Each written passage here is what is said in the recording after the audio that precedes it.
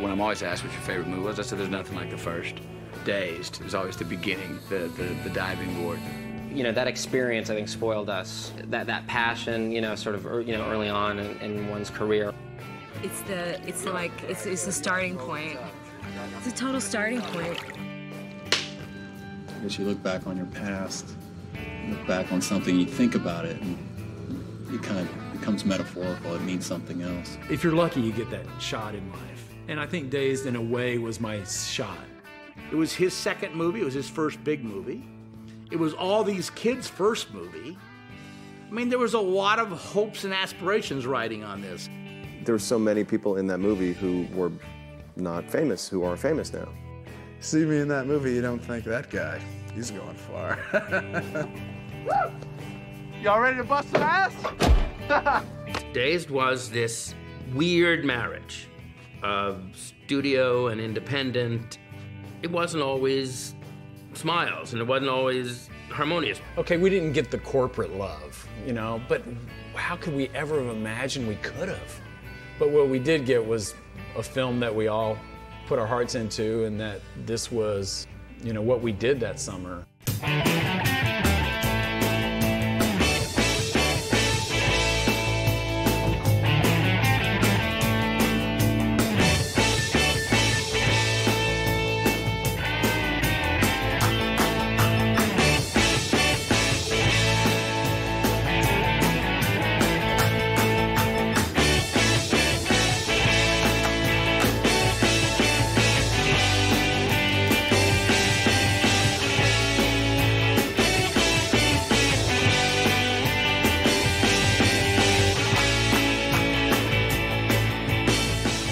1991, a film of mine, Slacker, came out and became kind of an independent success of, of that year. A little $23,000 film from nowhere, shot on 16 millimeter, kind of becomes a minor cult film. Rick had this idea to do an American Graffiti for the 70s. I just found myself in this great position of like, have kind of cool idea that they might take and studio kind of interested. It was that one little window you're occasionally given in this lifetime where things, you know, hook up.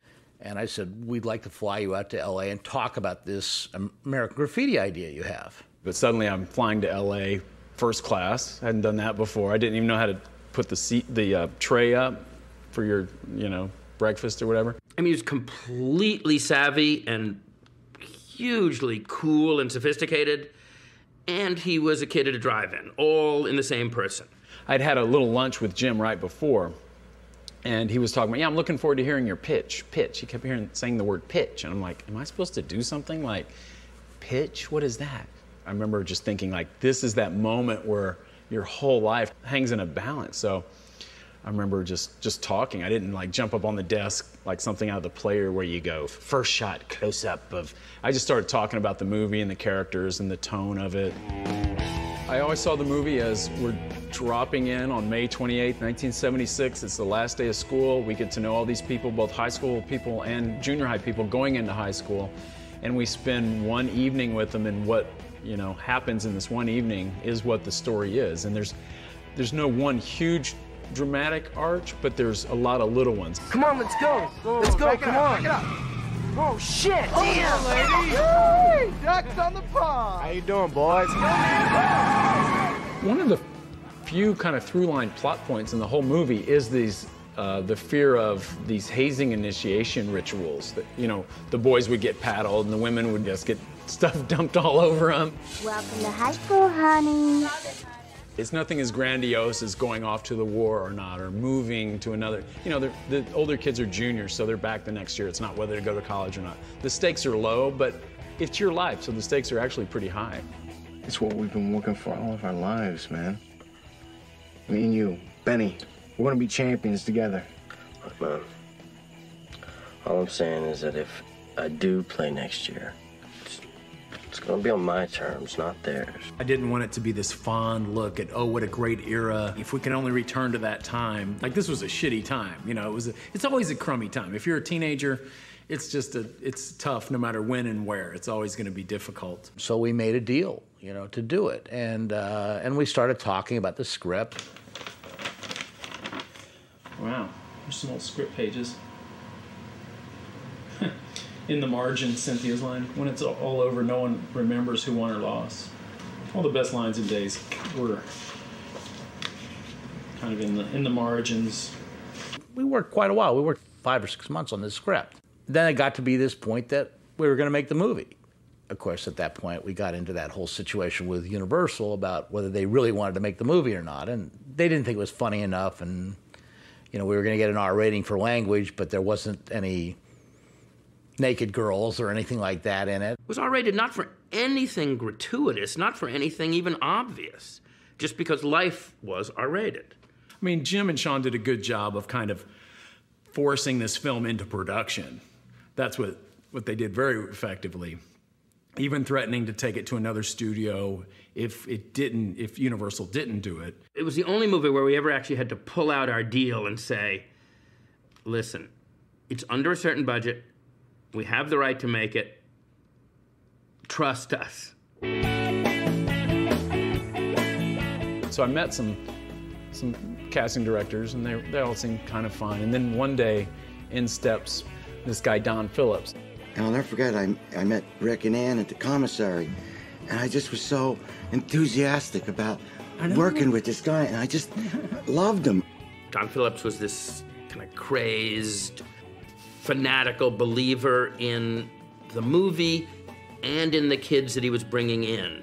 This guy's kind of crazy, but I like his energy. You know, I like his kind of, he loved people, he loved kind of mixing it up, had a lot of things to say, he was funny and passionate. Those times in the business where there's a crop, a beautiful crop of flowers that it's just amazing how many people at that time show up at the same time. And we had our choices at that particular time. At that point, teen teen films were out. Out. There, that that ebbs and flows, and it was at a low point right then. There were no real teen stars. I mean, if we were to do Dazed today, it would be just saturated with WB kind of TV actors Exactly. getting their first movie and things like that. We couldn't have gone with the non-names. Hey, you. Come here. Who are you? Uh, nobody. A lot of the people in Dazed were people we just kind of plucked out of obscurity here in Austin. When I got the part at school, I got handed a flyer. I was uh, getting go, coming out of a coffee shop, just kind of wandering aimlessly down the Dragon, uh, and just kind of walked up to me. Oh, would you like to be in a movie? Sure. Oh yeah, Mitch Kramer. Mitchy, Mitchy, Mitchy, Mitchy. We're looking for you, pal. Do you want to be a movie star? I don't know. It's scary. It's really scary. What's gonna happen? That's a silly question. I don't know. That's why it's so weird. I don't have the slightest idea what's gonna happen. I remember very clearly like meeting everyone in the cast like the first time I met them, the first time they walk in the door, my first impressions. My name is Anthony Rapp. Adam Goldberg. Marissa Ribisi. Hi. Nice try, freshman. Just for being so brave, I'll tell you what, I'm only gonna give you five licks, okay? The movie was coming alive during the casting. I mean, I love the way these things work out, and, and the film was totally open for this. But there's Don sitting in a bar later at night. I guess he had let the bartender know what he was doing in town. And he found out that I had cast Fast Times at Ridgemont High. A few minutes later, he's sitting there having a conversation with Matthew McConaughey, a film student, you know, who's a junior in college, who just goes over and starts talking to him. And we did not talk at all about movies. We didn't talk about anything but golf and girls and, and booze. Anyway, we just had ourselves a good old boys kind of time. And all of a sudden, it just hit me. I went, hey, I said, there's this little part. I remember even going like this to you. I said, there's this little part called Wooderson. And you said, "You ever done any acting?" Yeah. I was like, I was in a Miller Lite commercial. You know Wooderson? How's it going, man? Hey. Pretty good. How's it going with you?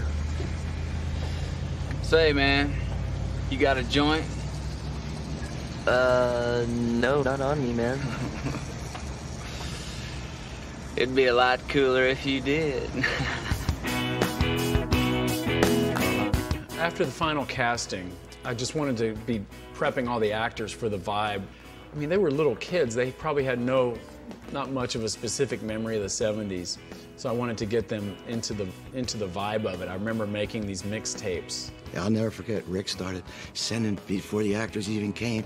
He'd make these little discs, these little CDs of all of the music, the cassette, huh? cassette. He sent us a, a package of how he expected us to be and what he wanted. And I thought it was the perfect thing. I think every director should do that because he really told each person what he needed and wanted from them. I came there just knowing. I got this letter from Rick before the movie started. He said, if the movie, um, if the finished product of the movie is as written, it will be a massive underachievement. It was my invitation to the party. And I sent him that before because I wanted him to come arrive in Austin with this stuff in their head. I see Pink growing up being somebody who doesn't pro- probably doesn't make a lot of money. He probably fears his old man. What does Jody hate? Violence. He just thinks about smoking marijuana. They actually knew what beat that, that they had to take, you know, and, and, and the old conductor over here had given them the mm-hmm. right right beats. Listen, I give them like who they're listening Yeah, to, right. like, their taste. You Yeah, know, I say, right. you're a Ted Nugent man and a ZZ Top. You know, Southern rock with a little heavy metal. You know, That's where I found my walk. What walk? You know that walk. It ain't chin forward, it ain't hard forward. this is forward.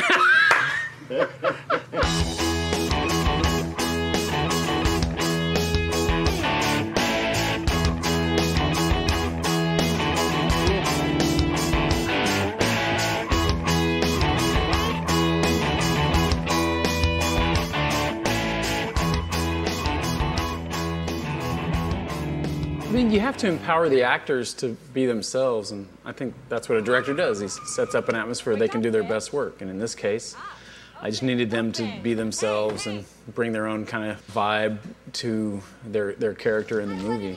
All right, you little freshman bitches!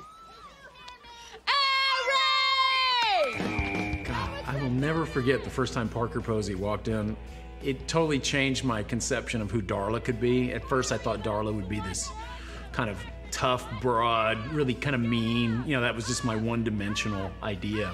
But that, my ideas mixed with Parker, took it to some level I could never have imagined. Like, she brought this kind of sheer joy to being a bitch.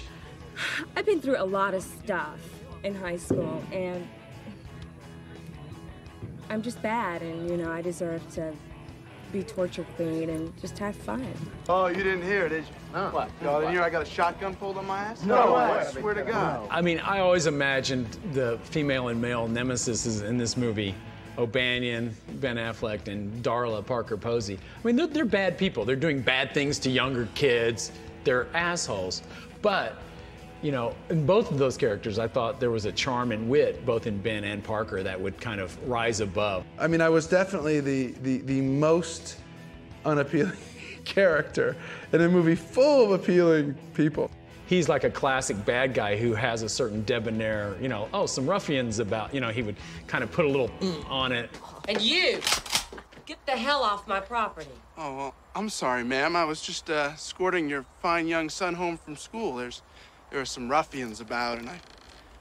Oh, and uh, Mitch, Carl, we'll be seeing each other again. So everybody keeps patting you on the back your whole life. It seems like that's what you have to do. You know, what if I don't want to do that?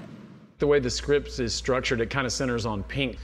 He's sort of the through guy, which is a really tough part. You know, I've said it before, I don't think Jason gets enough credit for holding the whole movie together. And he's not the guy with all the, the jazz, all the business. But if you don't care about him, if you don't have a feel for him, you really got nothing. You know, Coach, I gotta get going. Me and my loser friends, you know, we gotta go get Aerosmith tickets. Top priority of the summer.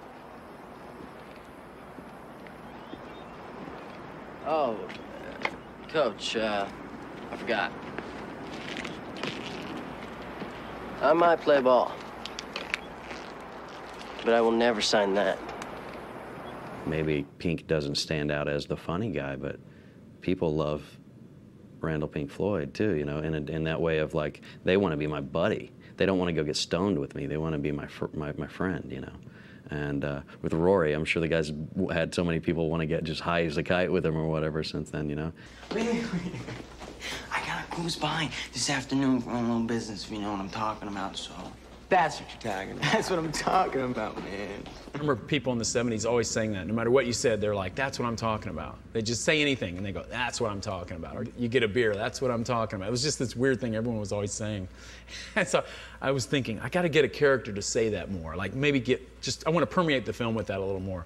My first conversation with Rory, he's like two minutes off the plane practically. And he's like, hey, Rick, I was thinking for my character, no matter what anybody says, I'm going to say, that's what I'm talking about. I was just like, okay, we're off and running here. And she she was real cool too. She'd harvest the crops, man. That's what I'm talking about. She'd put in the in the um bushels and stuff and sell it, you know, because they had to, you know, make ends meet and stuff. I mean, they. What, did you ever look at a dollar bill, man? There's some spooky stuff going on on a dollar bill, man. Yeah. I mean, and it's green too. Dazed Confused was the first time ever that I'd experienced the kind of collaboration that we had on that film. Anthony was a professional at that point. He had been in theater, he had been in other movies. He was a little more experienced than the rest. He was very confident as a as a performer. Like he was one of the only ones who came and like knew all his lines. And I was like, you don't need to know all your lines, man. They were going to change those anyway. Rick would sit down with us at rehearsal. We'd read through the scene, and then he'd say, What do you think? Usually, the actor is like the last person on the totem pole in a way in a film. Certainly not the first to for the writer director to say, "What do you think?" D- done a play in college, a Brecht, a Brecht play, and one of the lines was "wipe that face off your head," but it was just a bad translation from like a. I mean, that's what it translated into from German. I was like, "Can I say that?" He's like, "Sure." What are you looking at? Wipe that face off your head, bitch. That was so cool that he was so open to little things that, that everyone was adding. He was interested in the instincts of the actors. Even some of these kids were really young and this was their first movie. Now, there's part of a producer which goes, wait a second, you're listening. Who are you listening to? What are you changing things around for? I remember every day at lunch, I would have often a little huddle up with if Jim Jacks was around and would go through what work remained in the day. But every day it was like, okay, so we have to drop this, this, this. Like, how can we hang on to the story but not shoot all this other stuff you have in mind? The problem is, is we didn't have a lot of rehearsal time before we started the movie. So he was doing that every morning, every day on the set. And it would eat up a huge amount of the shoot day. And we would often get to lunch and not have one setup. There was so much to be done and so little time. I really needed about 42 to 45 days to make the film. And okay, you can have 36. You know, everything I needed, I got about 80% of. Everybody hear that? No high five. What about low five? Yeah, low five. After the Little League game where they're all telling each other, good game, good game, good game, it's just this little bit that every kid who ever played Little League ball did. And it, I always thought it was funny, and, and I just always had it in my head. I had to shoot this. But at, at lunch that day, it's like, well, we don't need that. It really got, you know, sometimes to the point that I just said, well, then we're going to have to cut this scene. He said, well, we can't cut this scene. No, to me, that's what the scene's all about. It doesn't make sense on the page, but that's, to me, the essence of that scene. I said, well, I agree with that, but then you've got to shoot faster because we don't have the extra day. He said, well, you got to get me the extra day. I said, I can't. I got you the movie. And so my script supervisor could say, "Oh, but if we don't get that, it won't cut. It won't cut with this." And so like, "Oh, okay, I guess we can film it." It wasn't enough for me to say I want it because it's my movie and that's how I see it. That wasn't to be trusted. Yeah, right. Great. Yeah, right. If I worked and got as stressed out on every movie the way I did on Dazed Confused, I'd have a heart. I would have had a heart attack years ago. I'd like to dedicate this first lick. Too big. That's okay. I would like to dedicate this first lick to your. I'm going up to Ben Affleck and saying, you know, well, what are we going to call like Carl Burns' mom? I mean, it's like bitch, but is that enough? So we did a series of takes, and we let's do one. Let's. I was just starting to amp him up more, and it got to where he said, you know, this little cocksucker's mom, and it, it sounded good coming out of Ben's mouth. Y'all hear this little motherfucker's mom pulled a shotgun on me this afternoon? Fucking bitch. We went and saw dailies, and it was the scene where they pour paint over Ben's head. And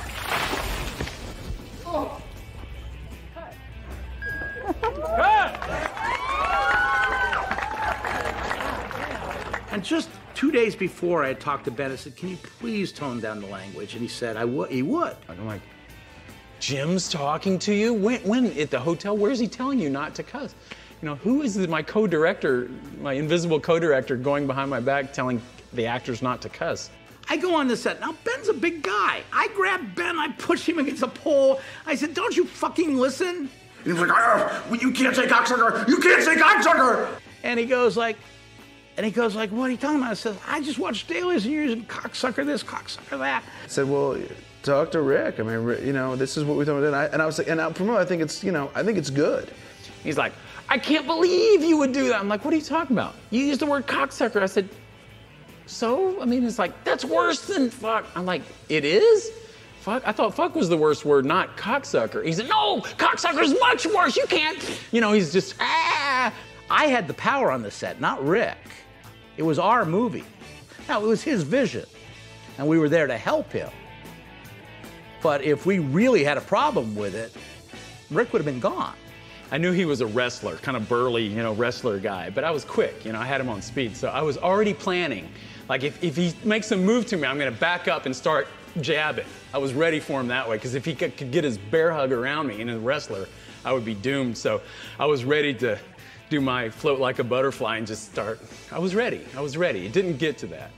Jim calls me from his cell phone on the street in Austin and says, I just slammed my fist into a phone pole. My knuckles are bleeding. I blew open one knuckle, and I still have the scar on it. And I remember I said, Jim, it's better than hitting Rick.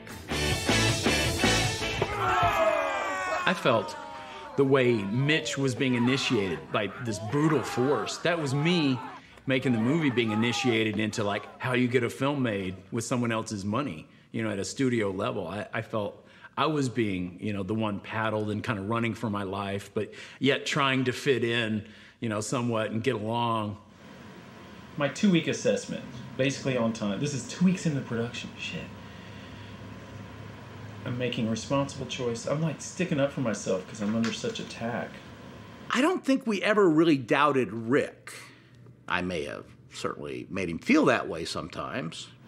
This is a memo to Jim, I guess. Whether this is an okay movie or a great movie, your job is to enable me room to make a great movie. Two weeks in, I'm making a compromised piece of shit, followed by an incredible cinematic underachievement. Nobody likes to be pushed, but sometimes that makes you better. You know, l- looking back, I- I'm much more grateful for that opportunity than I was at the time. I was just kind of, you know, I thought I should have had more of everything, but I was lucky I had what I had at all. You know, it takes a lot to step back and go, I'm just lucky. Now, when I make a film, every day I kind of tell myself, I'm just lucky I'm getting to do this. I was I was grounded at the Crest Hotel last night. I was. I, I was sent to my room because we were riding the uh, the uh, service elevator, and the uh, security fascist uh, comes up to me, and you know, and he goes, "Okay, that's it. You're out of here. You're out of here. You're going to be evicted." I said, "You can't evict me. I was riding in the service elevator." He comes right up to my face and he says, uh, "He goes, don't you tell me what I can or cannot do. Do you understand me? I run this hotel. You're just a punk." We just went insane and just just wrought havoc on that hotel. Yes, I really needed to buy this. I really needed a turtle ashtray. I had to have it. I I have so much so much stuff, stuff, to take back to. LA. It's horrible. I bought this shirt for 75 cents. Did Yeah. you? Get back. I bought these pants for two dollars. My whole outfit is 50 cents. I was aware while I was in my world of production that they were all having a great time.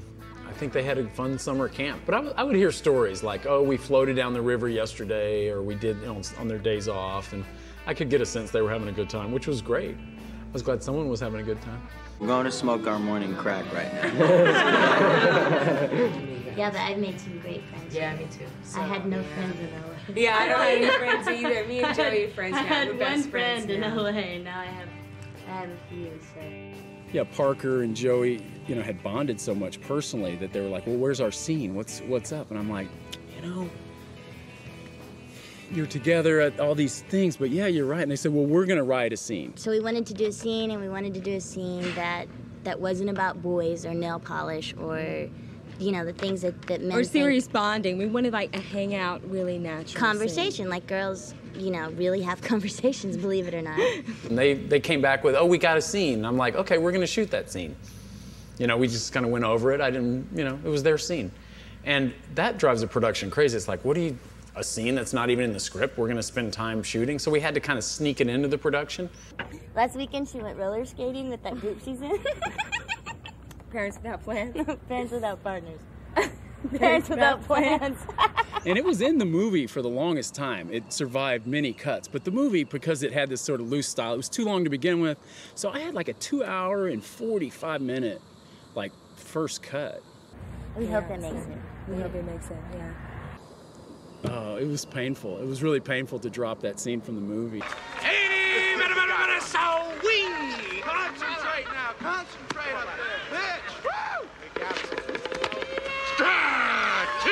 So they asked me if I'd ever played baseball before. I'm like, yeah, sure, yeah, totally.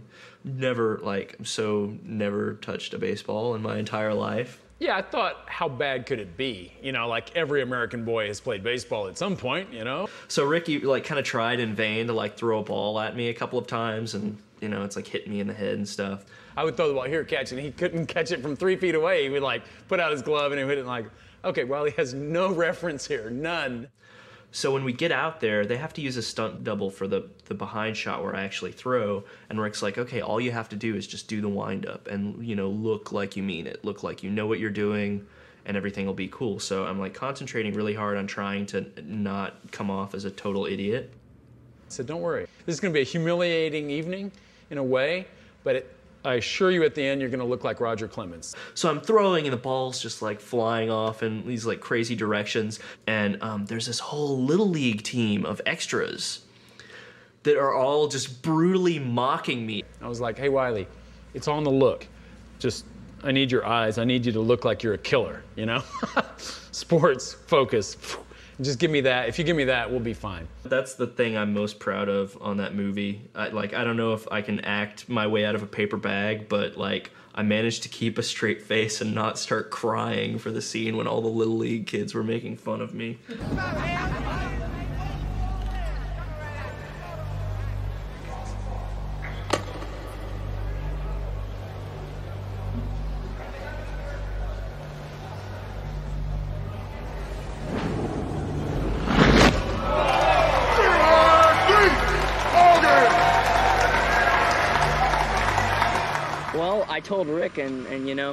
If God had meant me to play baseball, he would have given me a glove. That's all I got to say.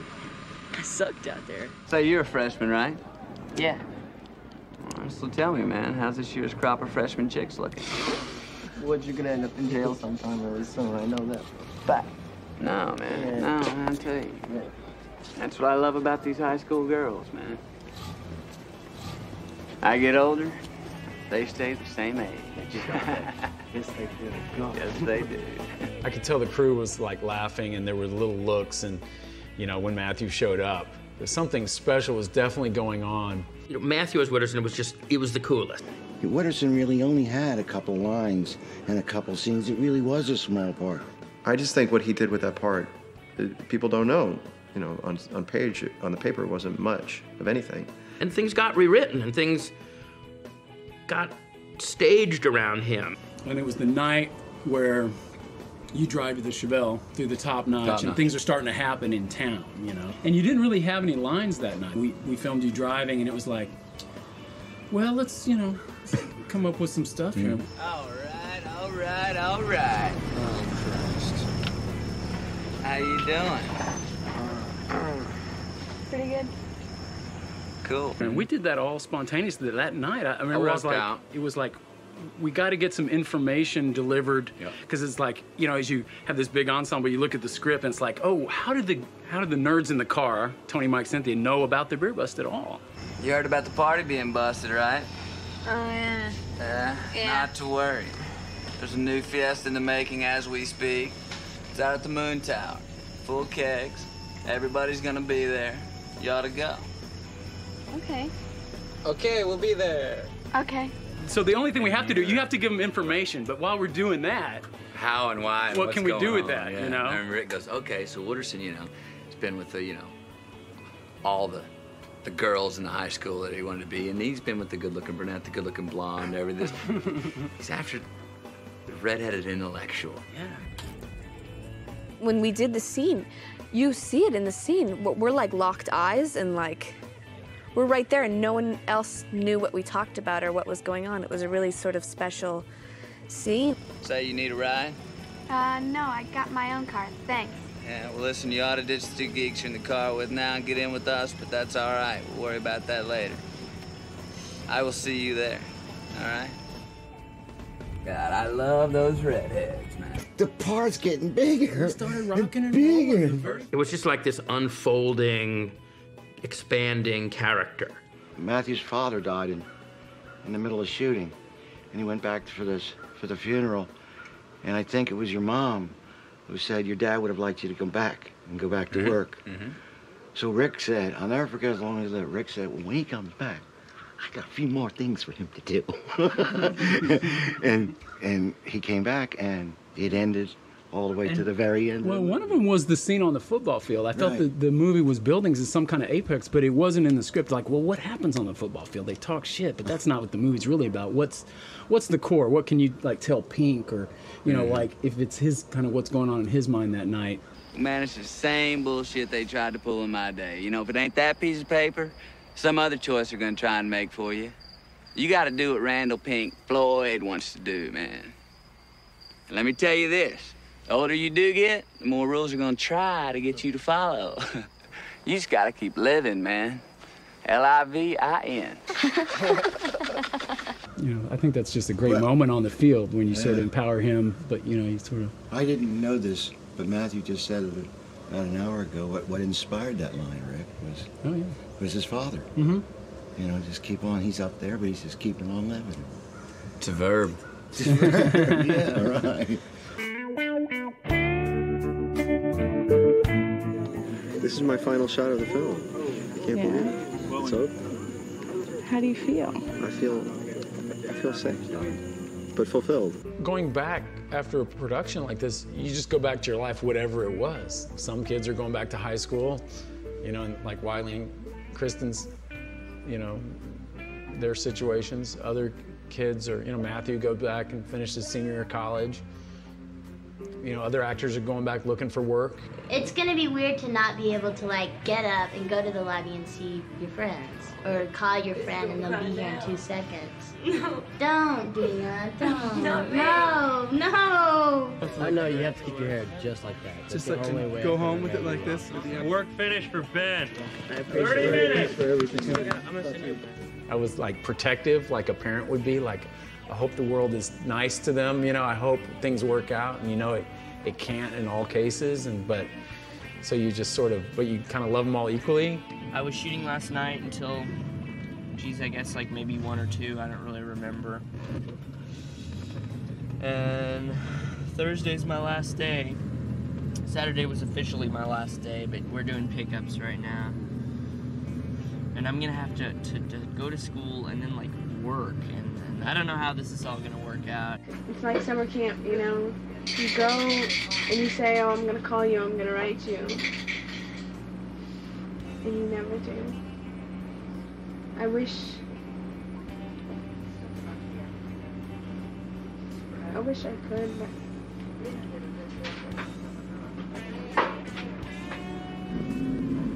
It's the best summer I've ever had in my entire life, and it's over. Say goodbye to Nick. He's leaving. No, are you done? I'm done. he and I were were um, you know in the hotel lobby and we're talking about it and we were saying, yeah, man, you know, yeah, well, never, I'm never, never gonna do another episode of television again, you know, and that's pretty much all I had done was, you know, um, that's how I, you know, had started to kind of make my living as an actor at the time. You know, I was like, you know, we're never gonna do another fucking sitcom, and you know, we're never gonna do another, another fucking TV show, and blah blah blah. And I don't think it was more than three weeks later where he and I bumped into each other at an audition for a sitcom, and we were like both like dressed up for the part, you know, and. Uh, you know, we just sort of spied each other and we were like, mm-hmm. Hey. Let's do it. So that's that, huh? All right. I remember watching that, um, you know, two hour and 20 minute assembly cut that Sandra, my editor, had just kind of put together independently of me. And um, just looking at it, and we have a meeting after. I was just sitting there going, okay, so what do most directors feel at this moment when they watch it? And Sandra just put a gun to her head and went, I said, okay, good. So we've got a lot of work to do. I was in Pasadena one day, and somebody said was handing out one of those tickets to the those like uh, you know uh, free screenings, which is which is I now realize was like a test screening. I had never gone through this before, but the torturous test screenings where they, this is the Hollywood invented this, I think, where you show it to an impartial audience, recruited audience, and uh, they just watch the movie and fill out cards after, and 20 people stay and answer questions like, "What didn't you understand?" And so this guy said, "Do you want to see this movie?" And I said, "What is it?" And he and the guy literally was like, um, you know, it's like it's this movie about. I said, "Well, who's in it?" And he was like, "Nobody." I said, "What is it?" He's like, "I can't. We can't get anybody to go see this movie. It's some dumb movie about like you know, kids having sex in the back of cars or whatever." And I thought like, I said, "Well, what what's it called?" He's dazed and confused.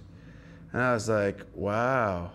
The fact is that the distributor did not get behind it in the way that would have sold a whole lot of tickets. That's the studio's job is to infuse an enthusiasm, you know, all the way down the line that permeates the process. We did not win the battle of getting Dazed the wide, wide release it should have had. There were there was an audience for this movie in every city.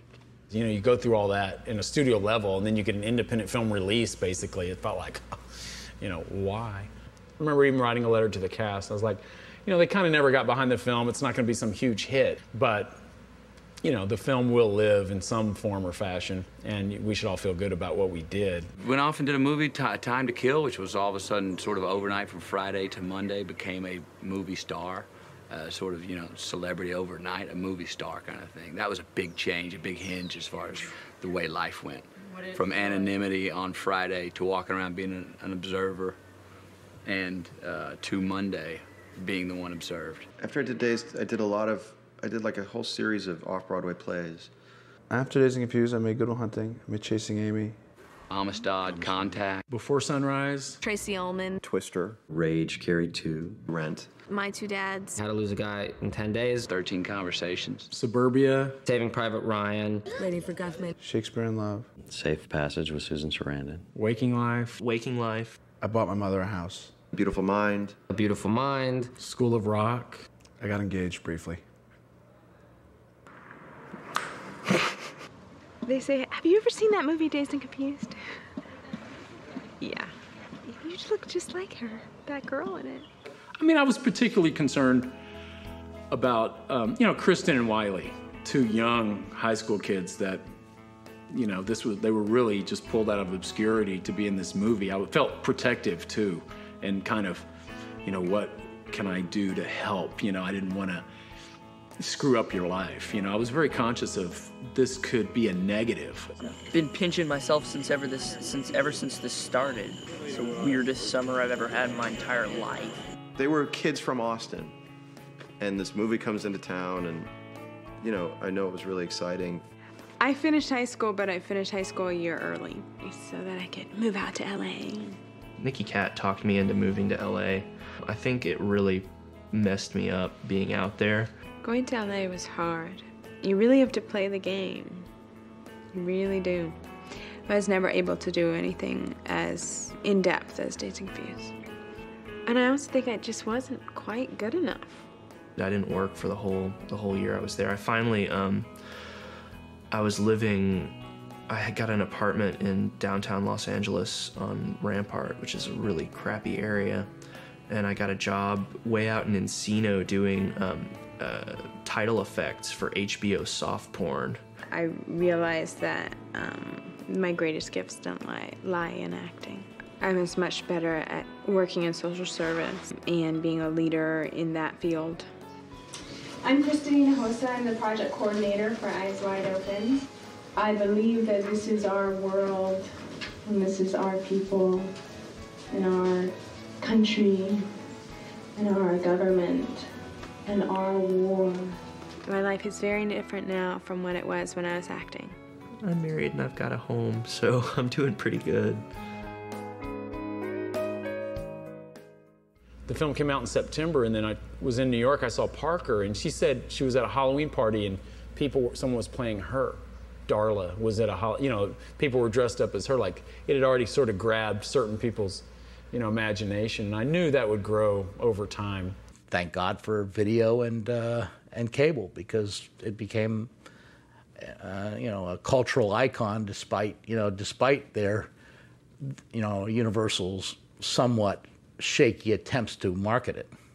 I started to hear things about midnight screenings or it playing, oh, it had been playing in some town for a year or two at midnight for at weekends, just it had built up this, this kind of audience. Rocks. Movie's a classic. I love it. Watch it once a month. The um, Alamo Drafthouse had this idea to do an outdoor screening like kind of like a drive-in movie, and that sort of appealed to me. Out at the Moon Tower, the original location, it sounded just weird enough that I was like, yeah, that could be cool. I mean, what the heck, you know? Yeah. Ten-year reunion. Does it feel like a high school reunion for you? It's Parker Posey, right? And Matthew McConaughey. I really didn't know what to expect from the event. It was really weird walking up and like, oh, we're driving, and then these cars and these people walking with like you know, picnic baskets and bedrolls and, you know, things like, God, what's going on out here? Where are these people going? And we finally realized, oh, they're going to the Dazed event. What, who are all these people? It looks like they're going to Woodstock or something. You know, these people walking from far away, traffic everywhere. I'm like, what's, is this really going to be that big a deal? What, what's going on here? How you doing, Matthew? What's up, man?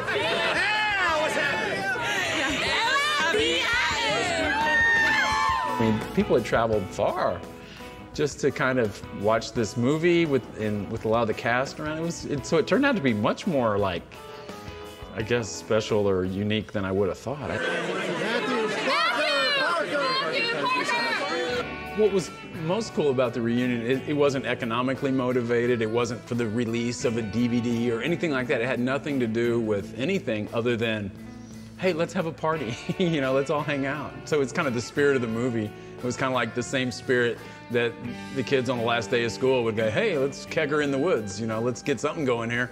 It was that same spirit that kind of brought us all back together again. But like, do you remember there being water here when we shot? No. I don't either. There isn't water here. No. Where's the water tower?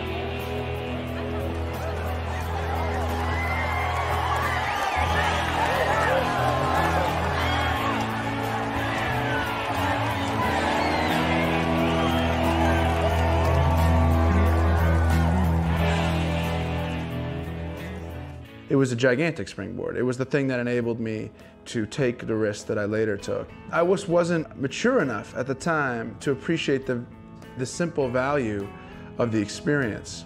And now, in retrospect, I, it's like one of the most important experiences, certainly one of the most important experiences of my professional life, if not the most important in a lot of ways. Having now had several other experiences, it was probably the least miserable of all my experiences. It's like that was seemed like the start of everybody's lives that was involved in that project. Like it was just such an, a beginning for everybody. Everything seemed so totally positive. Like it was such a score for everybody. It's really great to have been a part of it. It's kind of, there are all these obligatory moments that you have to go through, rites of passage, little signposts, but the process is really everything. So I think I'm most happy that everyone involved in Dazed ultimately loved the process of its making, and that was all that really mattered. You know, we didn't have some, we never talked about its results. It was so process. We weren't like, oh, we're making a movie that's going to be a hit. We're making a movie that's going to be this or that. It was just, they were just into their characters, into the moment, you know, which is what the film was. So that was the perfect place. Everything else was kind of not the, not the big picture. Don't you ever feel like everything we do and everything we've been taught is just to service the future? Yeah, I know. It's like it's all preparation. Right, but what are we preparing ourselves for?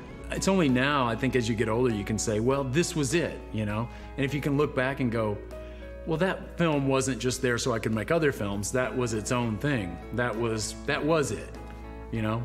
And hopefully you can catch that early enough in life that you go, oh no, this is it.